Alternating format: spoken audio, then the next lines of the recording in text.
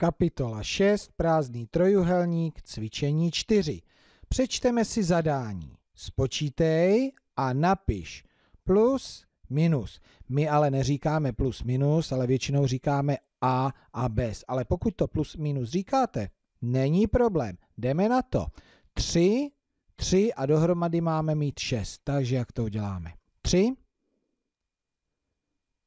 tak a mám je přidat, anebo škrtnout. Když je škrtnu, tak nebudu mít nic. Když je přidám, ještě tři plná kolečka, tak opravdu budu mít dohromady 6. Takže jsem přidal, sčítám plus 3 a 3 rovná se 6. 4. A co mám udělat s těmi dalšími čtyřmi? Abych dostal nulu, tak to já si poškrtám.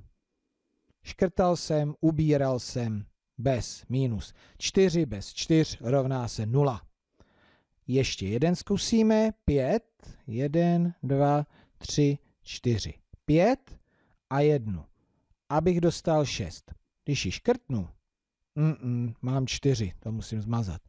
Když ji přidám, 1, 2, 3, 4, 5, 6. Ano, je to 6 přidával jsem a.